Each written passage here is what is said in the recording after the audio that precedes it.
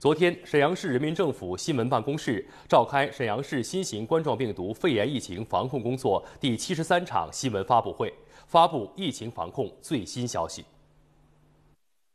四月十三号至四月十七号期间，全市党政机关、企事业单位、生产经营单位等有序恢复正常工作秩序和生产经营，公交、地铁、有轨电车等公共交通有序恢复运营。商超、生产生活资料类批发市场、室外旅游景点等人群密集场所实行限流百分之五十开放。全市现有的封控区、管控区继续按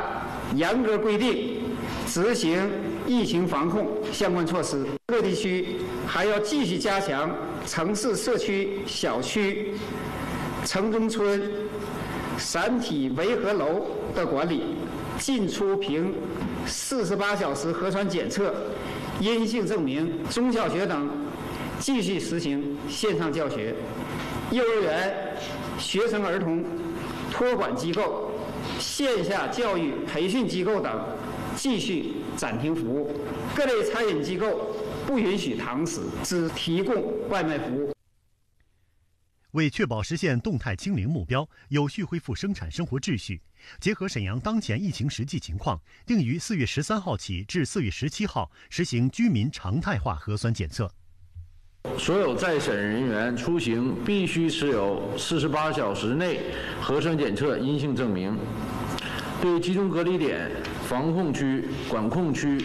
重点行业。特殊场所、高风险岗位从业人员需要按相关要求进行检测，采样时间安排在每日早七时至晚二十二时。呃，本次常态化核酸检测实行免费的政策。